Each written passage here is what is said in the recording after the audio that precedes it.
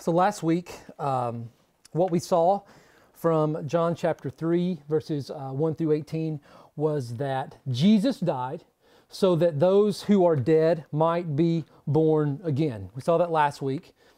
This week, we're going to look at this reality. Jesus rose from the dead so that those who are born in him would never die. So that's those are the two realities you have. Jesus died so that those who are dead might be born again, and he rose from the dead so that those who are born in him would never die. That's the thesis of today's sermon. But before we go any further, it seems good to me and to the Holy Spirit that I plead earnestly with you for a moment. And this plea is not on your sermon sheets because I want you I want you to listen to it. The fact that Jesus was betrayed with a kiss was shocking even to Jesus. Listen carefully to the question that Jesus poses to Judas in Luke 22, verse 48. Judas, would you betray the Son of Man with a, with a kiss? Would you betray the Son of Man with a kiss? A, a kiss? Judas, that's not what a kiss is for. A kiss is meant to show love and fealty, not betrayal and you would take a symbol of something that's supposed to communicate loyalty and turn it into a symbol of betrayal, you would betray me with a kiss? This is not what a kiss is for. You would be more honest if you just bloodied my nose. That'd be honest. That would be honest. And my plea with you this morning is that you would not use God's word like Judas used a kiss. God's word is not meant to make you wise for a debate. It's meant to make you wise for salvation. 2 Timothy 3:15. God's word is not meant to equip you with knowledge that puffs up. It's meant to equip you with love that builds up. 1 Corinthians 8 verse 1. It's not meant to kill your spirit and to feed your pride. It's meant to kill your pride and to feed your spirit. John chapter 6 and verse 63. Don't be a Judas with the Word of God. Use, this, use the Word of God for what it's for to give life and receive the Word of God for what it's for, and that's to have life.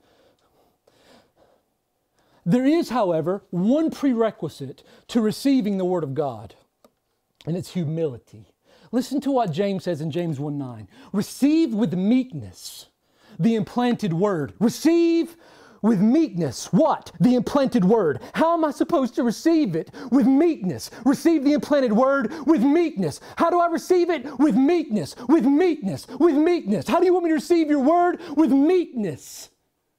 Receive the implanted word with meekness which is able to save your soul. There is a proper posture that one must have before he or she receives anything, especially the life that comes from God's Word. You cannot approach the Word of God with a spirit of pride and expect to receive anything from God because God opposes the proud but he gives grace to the humble 1 peter 5 and verse 5 proud people don't receive grace from god in part because they don't think they need it. Those who are well have no need of a physician only those who are sick. Matthew 9 and verse 12 and this is a problem for some of us. This is a problem for some of you. Ask yourself how am i approaching god's word this morning when it's preached? How do i approach it I mean, am I approaching it as a college professor or a teacher approaches a student's paper or math problem to sit in judgment over? I'm going to be the arbiter of what's true here.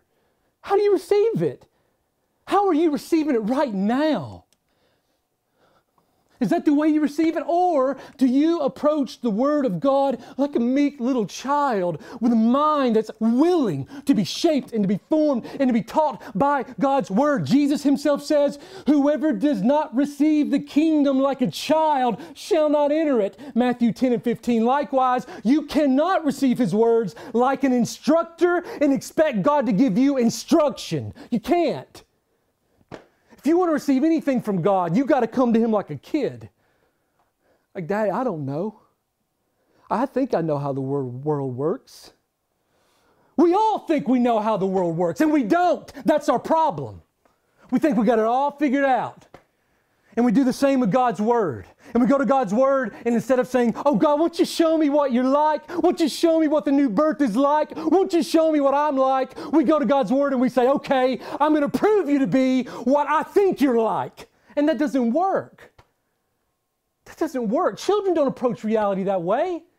But strong, wise, smart adults do. God doesn't give grace to proud people. God opposes the proud. God opposes the proud. And since we're saved by grace through faith, Ephesians 2, verse 8, you can be assured that if you have a spirit of pride inside of you right now, if you're approaching the Word of God as if you're standing in authority over it instead of being in authority under it, He will not save you. God opposes the proud and He gives grace. You've been saved by grace through faith to the humble. God does not save proud people. It's a big deal. So I beg you, I beg you, I beg you, I beg you, do not use this word like Judas uses a kiss. Don't use this word to win a debate. Don't use this word to get your licks so you can know something somebody else doesn't know and thereby exalt yourself over them and say, Ha, look what I know. Don't use God's word for something it's not intended to be used. Please, I beg of you, don't be a Judas with God's word.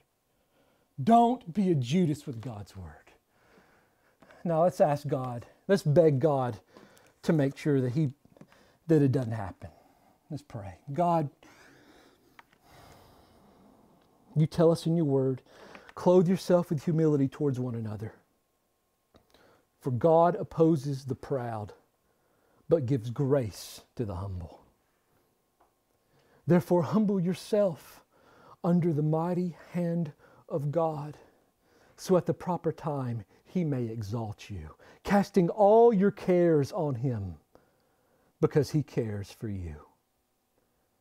God, help us to worship over this word as we stand under the authority of this word. Help us not to stand over against what you say, but help us to stand under it, like a person stands under an umbrella when it's raining and the water just sheds off of it, and we're dry and we're safe. Help us to stand under you and your word and your protection, rejoicing in your ability to keep us dry in, seri- in, in a season of intense sorrow to keep us strong in seasons of intense weakness, to keep us hopeful in seasons of intense depression. God, help us to stand under the authority of your word so that our marriages might flourish and so that we might raise our children to love you and to honor you and to respect you, so that we could help one another to grow in the grace and knowledge of Jesus Christ our Lord, so that there will not be a spirit of divisiveness in this church, but a spirit of humility and oneness and unity to the praise of your glorious grace. Help us, oh God, do what we don't by nature want to do. We don't want to do it. We don't want by nature to stand under your authority. So, God, won't you do it for us? Kill the spirit of pride that we all have deep inside. And help us to receive with meekness the implanted word which is able to save our souls. Guard me from error. Speak truth through me, and may it land on hearts that are ready to receive all that you are for us in Jesus Christ, through whose blessed name we pray. Amen. Now, this text, 1 Peter 1 3 through 5 and verses 18 and 19, is full of good news regarding the resurrection and the new birth. This is what this sermon series is on. It was going to be a three part sermon series, and I've increased it to four. We're going to have two sermons from John 3 and two sermons from 1 Peter 1. So, in this sermon on 1 Peter 1, we're going to focus on how the resurrection of Jesus Christ relates to the duration of what we receive as our inheritance and to the duration of our enjoyment of that inheritance. What I'm saying from the very outset is this. Peter is very concerned, as is the, all the apostles in the Word of God, with you knowing two things. Number one, what you receive from God, you receive forever. And number two, The life you get from Christ allows you to enjoy what you receive from Christ forever. You need to know the duration of what you receive and the duration of your life that gives you the ability to enjoy what you receive. All right, that's what this sermon is about. Next week, we're going to focus on how the resurrection of Jesus Christ relates to the justification of God's Word. Everything that we just said and we just prayed and that we read every day depends on one event, namely the resurrection of Jesus Christ from the dead. If Jesus Christ is not raised from the dead, there is no power in God's Word. Jesus says, My words are spirit and they are life. And if Jesus is still in the tomb, so is His Word. But the Word has power to give life because when you go to the tomb and look for Christ, He's not there. God's word is alive because Christ is alive. And we're going to rejoice over that next week. So, this week, four observations from 1 Peter 1 3 through 5 and verses 18 and 19. Here we go. Observation number one from 1 Peter 3 A through C. God causes us to be born again. It's the first thing that you need to know. And this is, I know, review for some of you, but it's important. 1 Peter 1 3. Blessed be the God and Father of our Lord Jesus Christ. According to his great mercy, he has caused us to be born again. You want to know why you're born again, according to Peter? Why am I born again? Why are you born again? God caused you to be born again. That's why. That's why he says, Blessed be God. Praise be to God. Why? Because God did it. You don't praise God for something He doesn't do. You bless God because He does what He did or did what He does. That's why you, that's why you praise God. So you are born again because of God. That's an amazing reality. In your state right now, spiritual state, loving God, rejoicing in His Word, hoping in God, all of these things occur in your life because God causes them to occur. And you say, Thank you. God, thank you. Wow, do you remember what it was like before you gloried in Christ? What did you glory in before you gloried in Christ? Drink, sex, food? What was it? What were you doing? What were you spending your life doing? What were you spending all of your energy, exerting all of your energy running after? Now look, there's a change that's happened, right? The things of the world that once held such a grip, they just fall off, melt like butter. You're just free because God caused this to happen to you. God caused you to be born again. According to his great mercy, he caused you to be born again. You cannot cause yourself to be born again. You just can't. You can't will yourself to be born again. I'm just going to be born again. That's not the way it works. Whoever believes that Jesus is the Christ has been born of God. 1 John 5 1. And we're going to go over this verse until you all rejoice over it. Whoever believes in the present that Jesus is the Christ has been born of God in the past. So if you have present belief right now, and you ask yourself, well, to what do I owe this present belief? The biblical answer is your new birth. You believe in the present because you were born in the past. And that event of your new birth in the past is so strong, so pervasive, so fruitful that it's causing you to rejoice in God in the present. It's causing you to love your neighbor as yourself. That is the great event that is the catalyst for everything in the Christian life. That one event, that birth, causes it all. That's what 1 John 5 1 says. Whoever believes, right here, has been born back here, okay? And when you're born back here, it causes you to believe right here. That's the message. And this is it's worth rejoicing over. Faith is not the cause of the new birth, it's the effect. Yet, the new birth and faith both happen simultaneously, right? We talked about it last week, and they both happen in accordance with God's grace, which is what why Paul says in Ephesians 2 8, by grace you've been saved through faith. By grace You've been saved through faith. And this is not your own doing, it is the gift of God. And so when you're reading that verse, you probably should ask, to what does the it refer? By grace you've been saved through faith. This isn't your own doing. It is the gift of God. What is the gift of God? Is it my faith? Is it God's grace? Is it my salvation?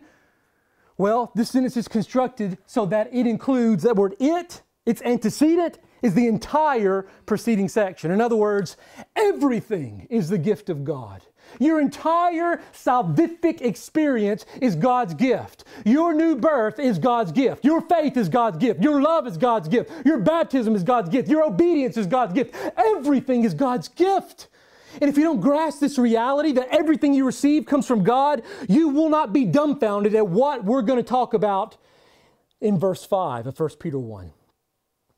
1 Peter 1, verse 5 should give you immense hope, especially if you wonder whether or not you're going to make it. If you wonder whether I'm not going to make, am I going to do this? Am I going to make it? If you're a child of God and you're scared to death of going to hell still, I want you need to rejoice over verse 5. And you won't understand why you should rejoice if you don't understand that everything you've received from God, you've received as a gift. What do you have? What this is what Paul asked the Corinthians. What do you have that you did not receive? And if you received it, why do you boast as if you did not receive it? Okay? So, this is observation number two. And it's from 1 Peter 1 5. The faith that God gives us when we're born again is the means by which He keeps us alive. Or say it different the faith that God gives you that made you alive is the very means that God will use to keep you living.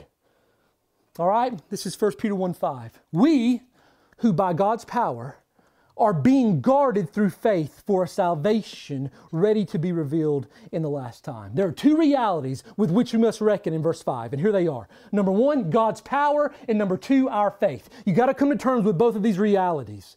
And if you don't stop and slow down and think and meditate, you'll lose the power of it. That's what happened to me. I just, I, I just struggled over this verse. I didn't see it.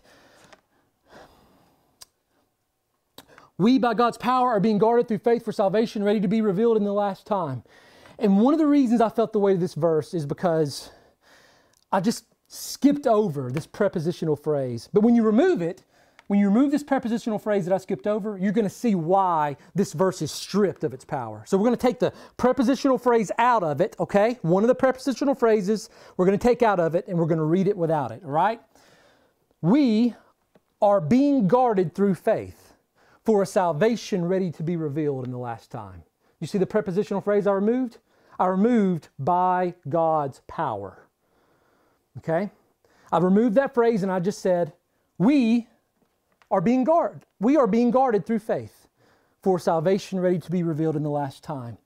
Without the prepositional phrase, by God's power, this verse is terrible news to you. And here's why. It's planted or rather, it plants the seed of my preservation, of God getting me to heaven. It plants the seed of preservation in the shallow soil of my own strength and ability to believe. In other words, as long as I can keep on believing, as long as I can just have the mental assent to believe, I will be guarded. I'll just, I just have to believe the best I can. The reason that Peter tells us that we are being guarded by God's power here is because if you go to chapter 5 in this epistle, there is someone hiding in the cover of the high grass of legalism and licentiousness, and he's stalking his prey, and he's called this in 1 Peter 5 8. Our adversary, the devil, prowls like a roaring lion seeking someone to devour. And if you are guarded only by your power and not God's, the person that Satan will devour is you. You don't have any power there. You don't have any power over Satan without the resurrected Jesus Christ. Satan's not cast out without the resurrected Jesus Christ. By God's power, we are being protected through our faith in Jesus Christ so that we will receive that which is promised and so that we will tread down our foe. As it is written, He who is in us is greater than he who is in the world. 1 John 4 and verse 4. The only way you'll overcome Satan, the only way you'll overcome the sin of pornography, alcoholism, drunkenness, premarital sex, adultery, the only way you can overcome anything that comes for the enemy is if someone greater than the enemy resides in you. And the gospel says, because of the resurrection of Jesus Christ and the outpouring of the Holy Spirit, He does. He does. You don't have to walk around defeated by sin because you have someone in you who's greater than he who is in the world. Our faith in Christ, which was given to us by God when we were born again, is being increased, sustained, and used by God to ensure that we will receive that which has been promised. When we are faithless, He is faithful, which means this God not only gives you life, God keeps you living through your faith in Jesus Christ. Even when you're faithless, He's faithful. Even when it doesn't seem that you can stand on your own faith, He's there. Answering prayers like, Lord, I believe, help my unbelief. Remember that prayer in the gospel? Why do prayers like that exist? Prayers like that exist because faith needs to rise in proportion to the struggle and there are times when we need more faith on this side of the mountain than we did over here. And when you need more faith on this side of the mountain, you got to go up and say, Oh, God who moves mountains, give me faith. And He does it. Lord, I believe. Help my unbelief. So, the good work that God began in you by faith in Christ, he will complete in you by faith in Christ, which is why Jesus is called in Hebrews 12 2 the founder and perfecter of our faith.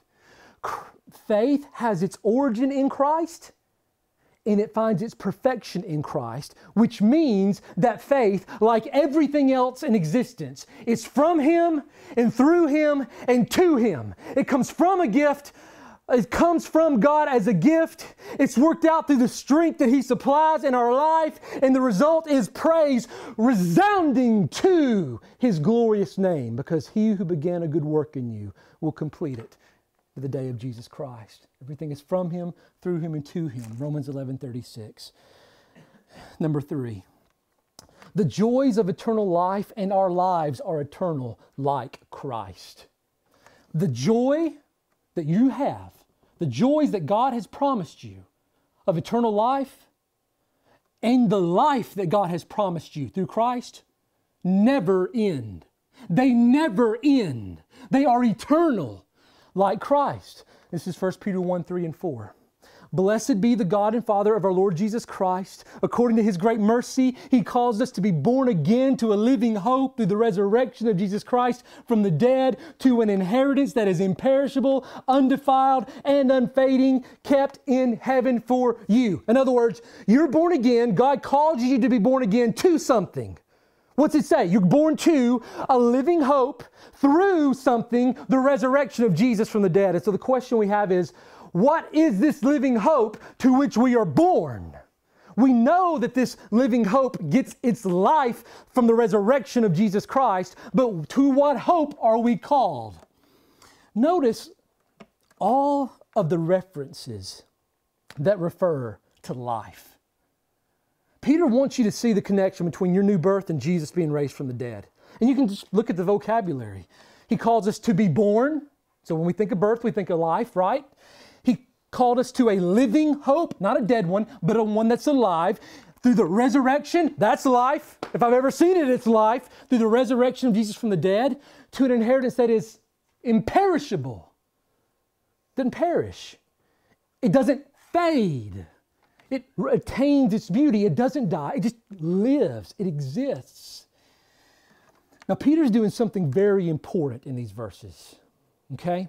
He's relating the imperishability of Christ that's evidenced by his resurrection to the imperishability of what we receive from Christ as our inheritance and to the imperishability of our bodies that will be raised in the same manner in which Christ was raised. In other words, He wants you to see that He's going to give you a gift that's going to last forever, and in the resurrection, He's going to give you a body that will last forever. You get both things God's good gifts, which are eternal, and the eternal life with which to enjoy those good gifts. Since Christ is imperishable because of his resurrection from the dead, everything we receive from Christ is imperishable. The joy you get from Christ is imperishable. You get it forever. The life you get from Christ is imperishable. You get it forever. The satisfaction you get from Christ is imperishable. You get it forever. God does not give gifts that do not last forever. And this is good news. The reason it's good news is because in Christ you live eternally. An imperishable, undefiled, and unfading inheritance is only good news if you are imperishable, undefiled, and unfading. The only way what, that God gives you, the only way that what God gives you is good news is if you match in duration the gift that God gives you. What good is an imperishable inheritance to you if you're dead? Likewise, what good is a perishable inheritance to you if you're imperishable? If your inheritance outlives you, then you can't enjoy your inheritance. And if you outlive your inheritance, then you can't enjoy your inheritance. The guarantee of fullness of joy that comes from God depends on you and your inheritance living forever. And the good news of the gospel is that the resurrection of Jesus Christ ensures this reality. Christ rose from the dead so you could be infinitely happy for all of eternity. Or to say it in the words of Peter, God has caused us to be born again to a living hope through the resurrection of Jesus Christ from the dead. Your inheritance is not going to outlive you, and you're not going to outlive your inheritance. You are going to have the ability to enjoy what God gives you infinitely for all of eternity, and that's what fullness of joy is. That's what it is. Anything less is a joy kill. Anything less is this life. Number four, and this goes along what we just said in verse three, or number three rather. The joy you inherit from Christ is greater than what you inherit from your parents or from anybody else. 1 Peter 1 18 and 19. You were ransomed from the futile ways inherited from your forefathers, not with perishable things such as silver or gold, but with the precious blood of Christ, like that of a lamb without blemish or spot. Because you've been ransomed with the precious blood of Christ, you've been set free from the emptiness you inherit from everybody that's not Christ. And you can inherit some really good things from your parents. And they're futile according to the Word of God, ultimately. And there are two things to notice here. And they, and they both have to do with what, with why what we've inherited from our forefathers is futile. And here's the first thing. Notice that we've been ransomed from our inherited futile ways with something, namely the blood of Christ. So, according to Peter, you've inherited some futile things from your fathers, and they from their fathers. But by the blood of Christ, you have been ransomed from the futility that you inherited. This is important that Peter speaks of the blood because a lamb without blemish or spot is offered up as a sin offering in the New Te- in the Old Testament, which tells us that one of the reasons that what we receive from our forefathers is called futile is because it is tainted with sin. It's not pure. It's not holy like our fathers. It's unholy. And it's futile, therefore. So much so that Christ had to die to rescue us from it. Think of that for a second. Think of all the good things you got from your inheritance, from your forefathers. Think of all the good stuff you get. And then here comes Christ and dies, and he says, I had to die to ransom you from the futility that you inherited from your parents.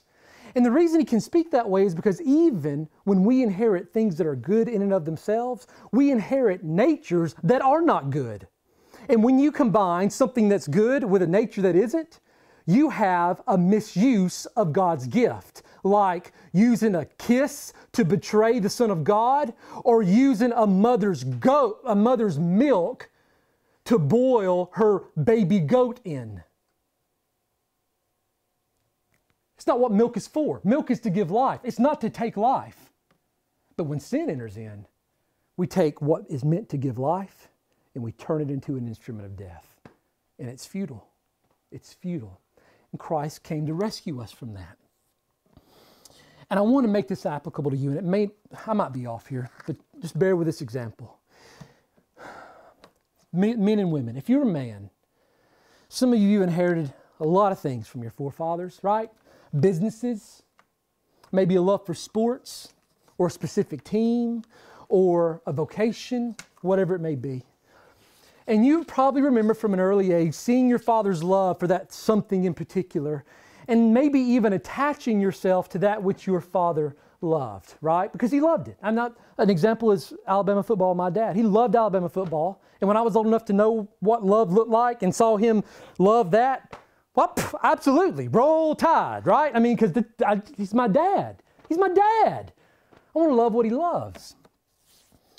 But in attaching ourselves to what our forefathers loved, we learn behaviors and attitudes that exist in sinful humanity and allow them to shape our identity and joy. So the innocent love of innocent joy of loving the game dies and it's replaced by playing the game a certain way in order to receive a certain result, and thus we attach our identity and it becomes intertwined with what we do and the success with which we do it. It's not enough to repair cars. You must become a car repair man. And those are two different things altogether. One of them is doing something for a living, and the other is getting an identity from what you do for a living. And these things just kind of intermix together. And when that happens, our joy and our sense of approval and our sense of purpose all becomes futile because we find our identity from those who are passing away. That's why it's futile. And if you think, huh, is this a, even a biblical concept? Think back to 1 John 2 15 through 17. Do not love the world or the things in the world. And then he tells us what's in the world. For all that's in the world, the lust of the flesh, the lust of the eye, and the pride of life, Okay, that's what's in the world. Do not love the world. Why? Because all that is in the world is not from the Father, but is from the world. When you love, when you inherit a love for something from someone that's of this world and it becomes your identity, you find identity in that which is futile because it's from the wrong person. You inherit from people that die a love for things that will too die. And that's the essence of futility. And so if you're a woman, it's almost a guarantee that your love for makeup or jewelry or clothing or hair or styles or purses or self sufficiency, you want to be a self sufficient woman? Maybe you were raised with a woman who was self sufficient. I don't need a man. All these things and 10 million things that we as guys don't understand are inherited from your mom. But somewhere along the way, you learn behaviors and attitudes that sinfully exist in your mothers, and you begin to attach your identity to that which you love and thus your joy. And if you do not believe me, Every woman in this room probably remembers loving a piece of clothing, putting it on, and remembers vividly hearing these words It makes you look fat. You remember the first time someone said to you, A piece of clothing makes you look fat. Yeah, you remember it. Or, why do you feverishly clean the house when you have guests coming over? Why does it all have to be decorated? Put in place. There's dust in the corner. Get it up before somebody sees it. It's because somewhere along the way you were taught, explicitly or implicitly, that your identity the way in which you keep the house clean, the way in which you look, your identity is tied to those reality. So if the house is clean, then I've got it all together. That is what the house being clean represents. And it's futile. It is futile. Why do you get your hair done?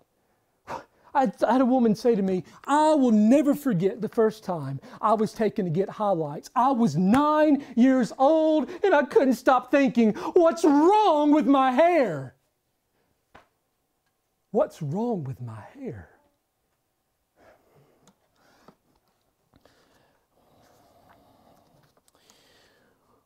When that happens, our joy, our sense of approval, our identity, our sense of purpose all become futile because we're finding identity from those who are passing away. Those things are not from the Father, they're from your earthly father or your earthly mother. they're just going to die. In order for our lives to have meaning, we need something that's from our Heavenly Father and that lasts as long as our Heavenly Father does, which brings us to the second observation from 1 Peter 1 18 and 19. You were ransomed from futile ways by something imperishable namely the blood of Christ. You weren't ransomed with silver and gold that perishes, but with something that does not perish. And the question that we should ask is why does Peter set the eternality of the blood of Christ over against the temporality of silver and gold? Why does he do it? Why does he say your ransom was something eternal? From something that is temporary. That's what he wants you to see. He wants you to see the duration of Christ's blood and the brevity of what you love in this life. And you have to say, why is he doing this? Here's why. Peter wants us to know that we, what we have been ransomed with, is much different from what we have been ransomed from. The first reason that we've inherited from our that what we've inherited from our fathers is futile is because number 1 it's from our fathers. Here's the second reason. The second reason that what we receive from our earthly fathers is futile is because that which we receive from our heavenly Father, or our earthly Father, is perishable. Which goes right back to the second reason not to love the world in verse in 1 John 2, 15 and 17. Do not love the world or the things in the world. For all that is in the world is not from the Father, but is from the world. That's reason number one. Number two. And the world is passing away. It's passing away it's passing away.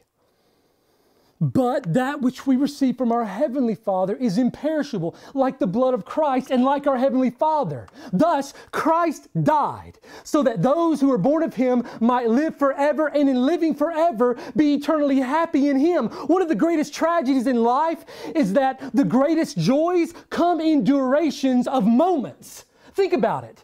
Your greatest joys happen in moments. And then the rest of your life is spent chasing that high, that one high you got from one moment, like a junkie chasing, chasing his first high. We chase temporary joy and we try to recapture it, and it's never there.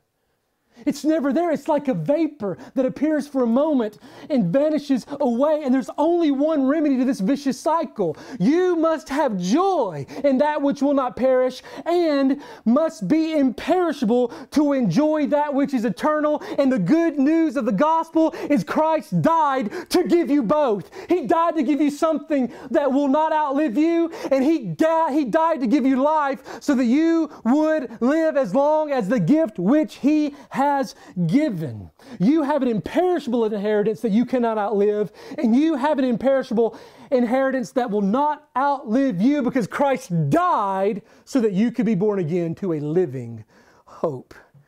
Christ died to give you God. That's what you have to look forward to. That is the best gift of God. The best gift that God can give is God Himself. And eternity will be a never ending crescendo of joy in God, who will be an inexhaustible source of joy and delight and peace and adventure and rest and anything else you can imagine. You will wear out 100,000 years of eternity trying to exhaust this joy in God. And when you get to where you are in the present, you will look forward to where you've come from, and then, or backward to where you've come from, and then forward to where you're going. And then you will realize in that moment that these 100,000 years are but a point to what remains. But a point. That's how much longer you have left to go, and you will never get to the bottom of God. You will not be in eternity bored forever. You will not be in eternity bored forever. You will be in eternity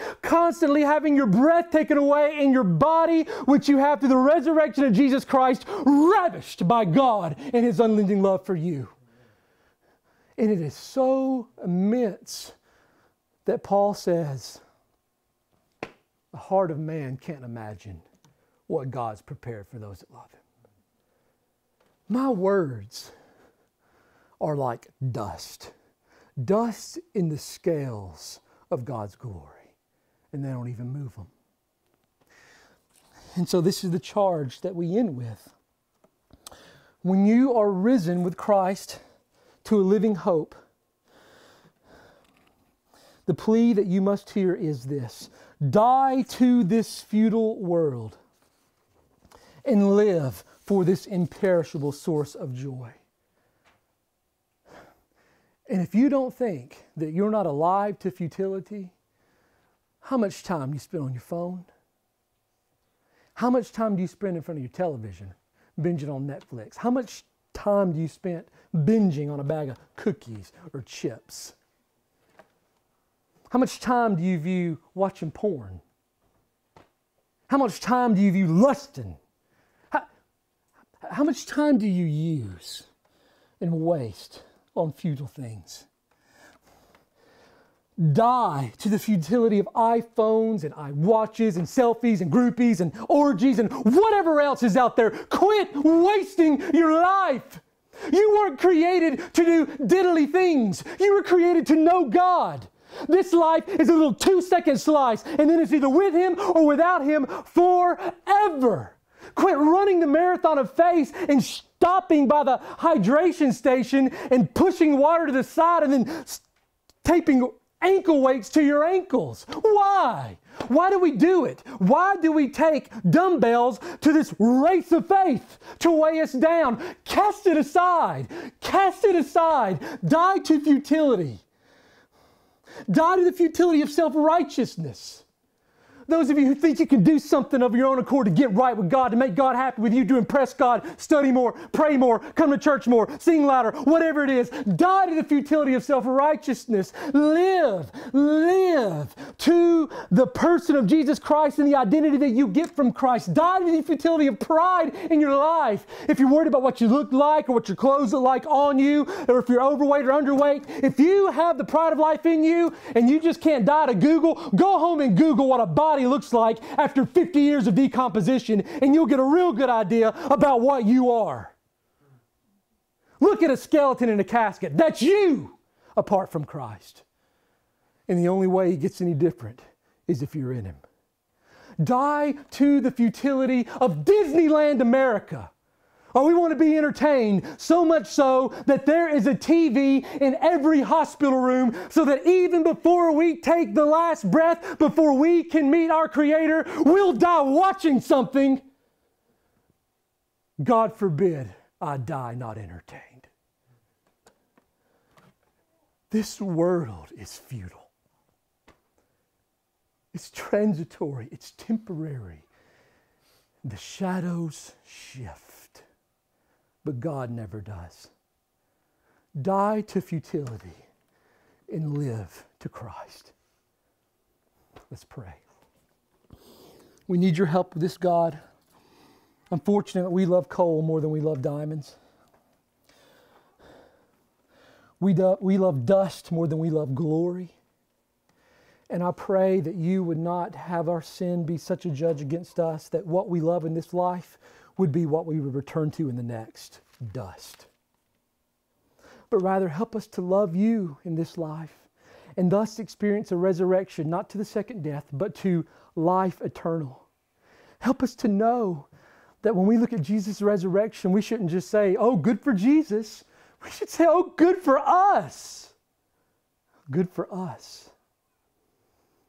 Christ died so that we could live, and he lives now so that we can know that just like he was risen from the dead to live forever, we too have been raised from the dead, not to die, but to live forever and to enjoy all that you are for us in Jesus Christ our Lord. Unite our hearts to fear your name. Do it for us, we pray today, God. May your word abound. God's speed, give it speed, O God, and may it be an aroma of life leading to eternal life. And I pray this in Jesus' name. Amen.